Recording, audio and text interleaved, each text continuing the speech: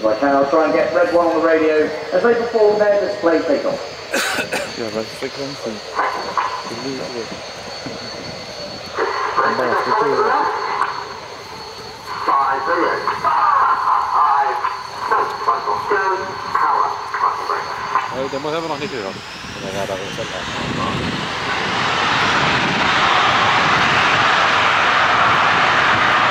We have those seven Rolls Royce Adour engines powering up as they position for their display takeoff. And a little bit of red, white blue with a red arrow sign.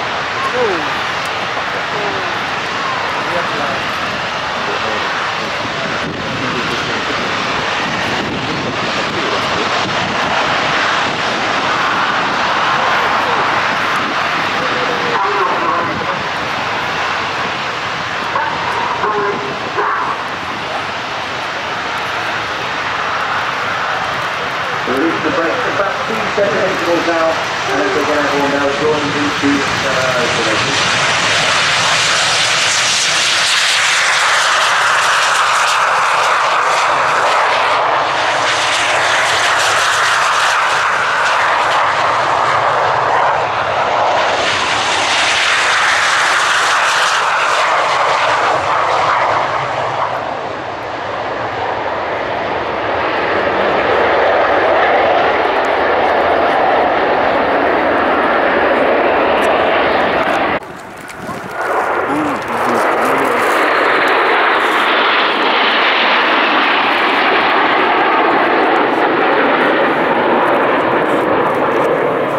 The team is led by Red One, leader Jim Turner.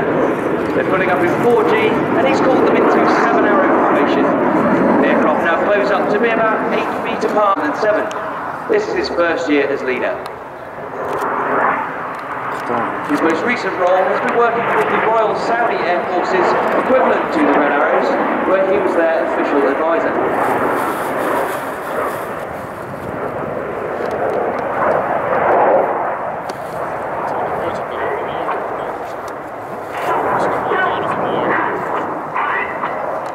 We have the team there forming shuttle formation. Those four aircraft on the wings are now dropping back to be a big Red 60 aircraft directly behind the leader. In this position further back, they still fly references from that lead aircraft and just trust that the jet only 8 feet away is in the correct place. From your right hand side, this is the shuttle roll.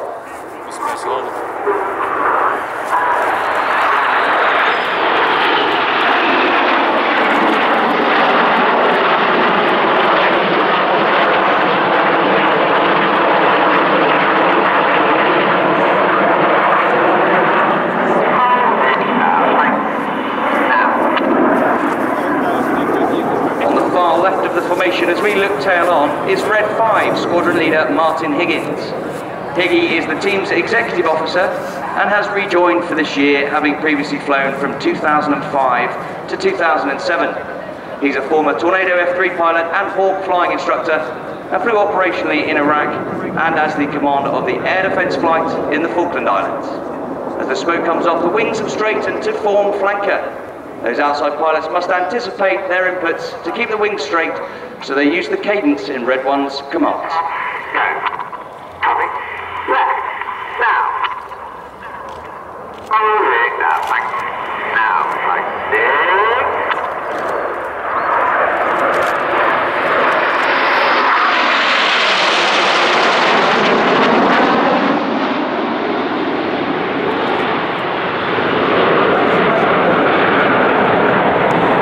The team will now form Phoenix for an emotional part of this year's routine.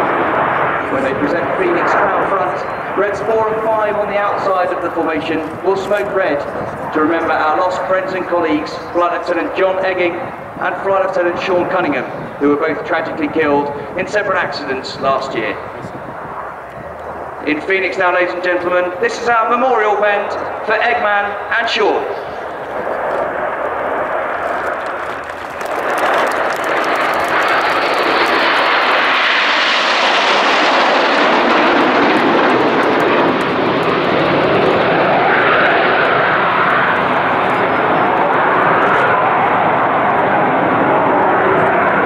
Continuing with the theme of remembrance this year, in fact last week, saw the unveiling of the memorial to the Royal Air Force Commonwealth Aircrew from Bomber Command who lost their lives during World War II. The memorial Green Park in London honours the 55,573 young men who all as volunteers at an average age of only 22 lost their lives for our freedom.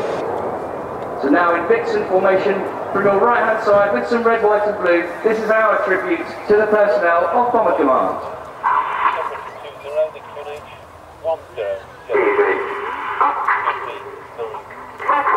The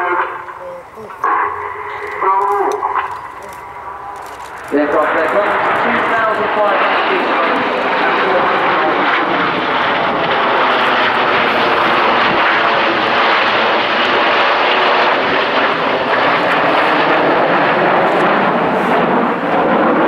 bottom of the formation with white smoke is Red 4, one of our first year pilots, Flight Lieutenant James McMillan.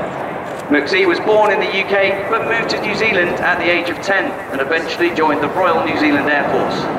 He transferred to the Royal Air Force in 2002 and became a Hawk flying instructor and Harrier GR9 pilot. With the smoke on now, the team are forming our largest formation shape, which is Concorde. Those four aircraft on the wings now drop back to be directly abeam Red 7 at the rear of the formation. In this bend, this is Concorde.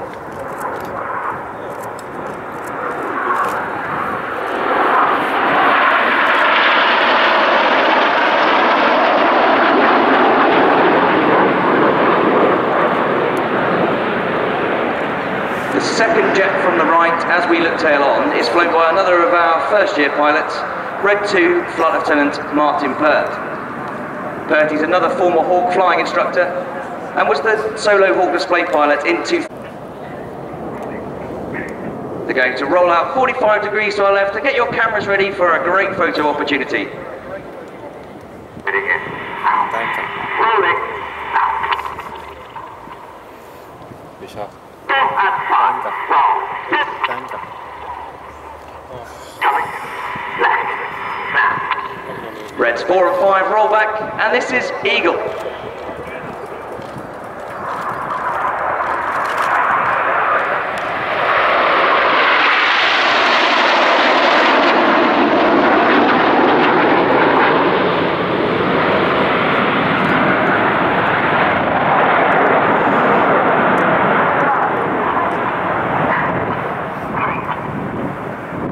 That's the command for the team to move back into 7 Arrow. I mentioned before about a monumentous year for the UK. Today's a great British sporting day with the Formula One at Silverstone and Andy Murray playing in the Wimbledon final. So a bit of red, white and blue for some British patriotism. And I can tell you now that Andy Murray is 6-4 down in the second set.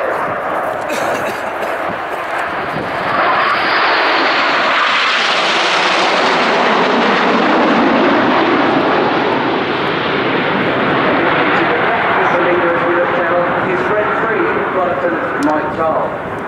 He's another of our first year pilots and another former Hawk flying instructor and was the solo Hawk display pilot in 2007. More recently, he's been flying the Typhoon, the Royal Air Force's newest fighter, where his duties were on quick reaction alert, protecting the airspace of both the UK and the Falkland Islands.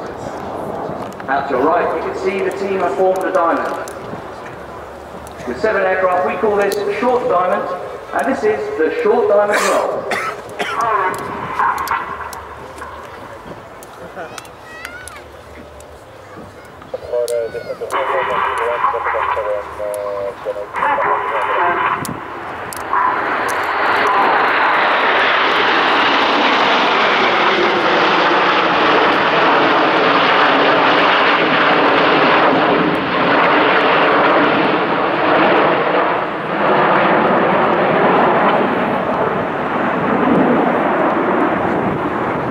The end of the first half of our display, ladies and gentlemen, where you've seen close formation flown in a rather dynamic fashion. We now get to change the tempo and show you how the Hawk can perform. The Red Arrows fly the BAE Systems Hawk T1, which was designed as an advanced jet and weapons trainer and has been in service with the Royal Air Force since 1976. It's very agile and precise to fly, and we're about to show you why all of our pilots love to do so. Out to the front, you can see the front five aircraft have straightened. That's Reds 1 to 5, known as Enid, after Enid Blyton's famous five. And you can see the synchro pair tucked in behind them. This formation is called Dagger, and as they roll out directly to your front, get your cameras ready for the start of the second half of the Red Arrows display. The smoke comes on. This is the detonator.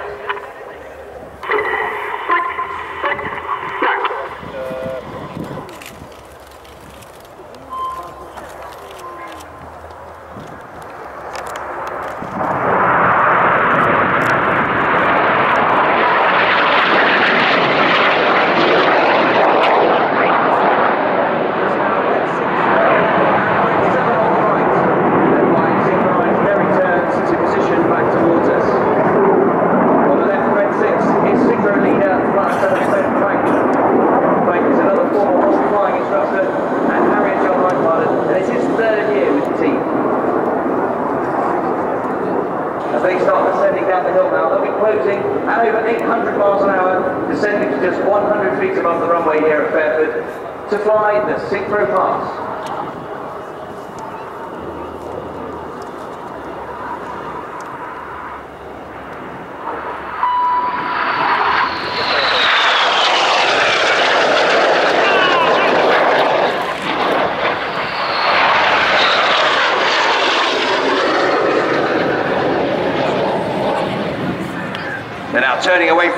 6G, or six times the force of gravity, and everything in their bodies weighs six times more than normal, so they're working physically hard to strain against those G forces. As they roll up towards us again, this is the Cyclone.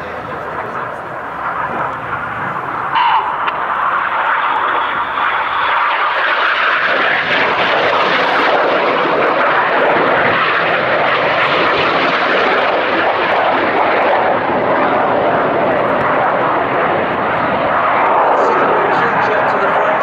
Look to your left for Enid as they approach for the first of their second match. Barrel rolls to the outside of the formation as they fly the rollbacks.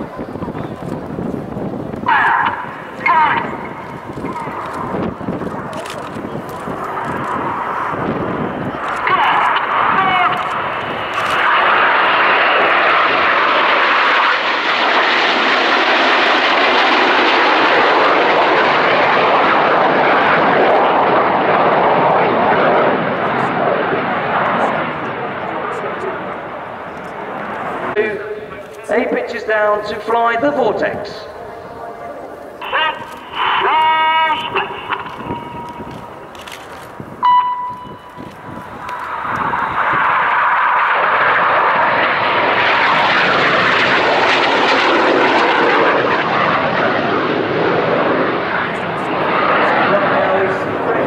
Synchro 2, button the runway. And this is synchro flying the double roll.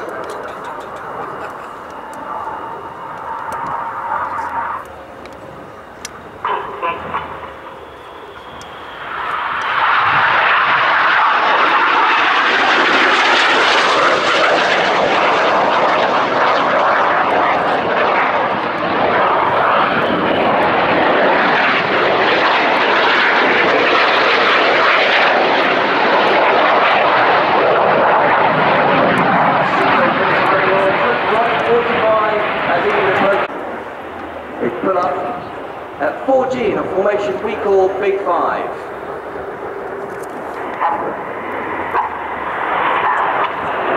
They into that left-hand turn, they're flying a manoeuvre. A good bit, ladies and gentlemen.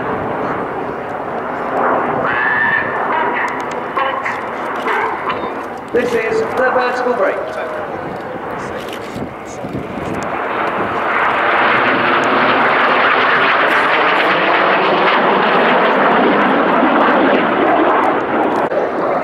In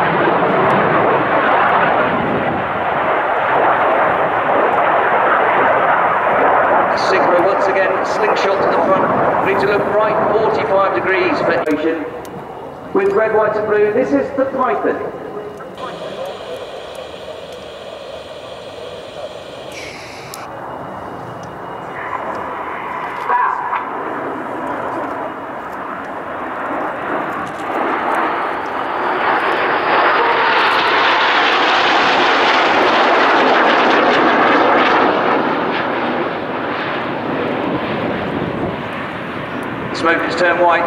We produce that smoke by injecting regular diesel fuel into the aircraft's 400 degree engine exhaust, which causes it to vaporise. The red and blue colours are made by simply adding a dye to that diesel, and we can carry five minutes of white and a minute each of red and blue. As e-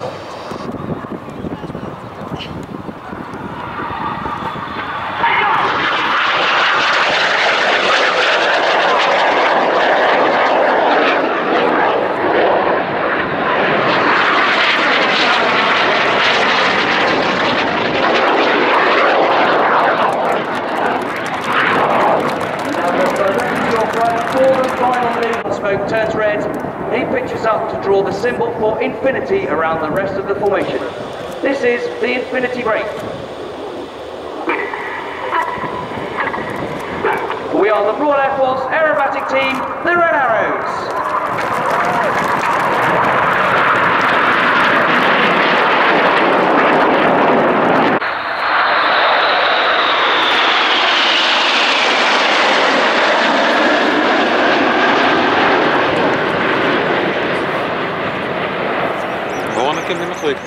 Gewoon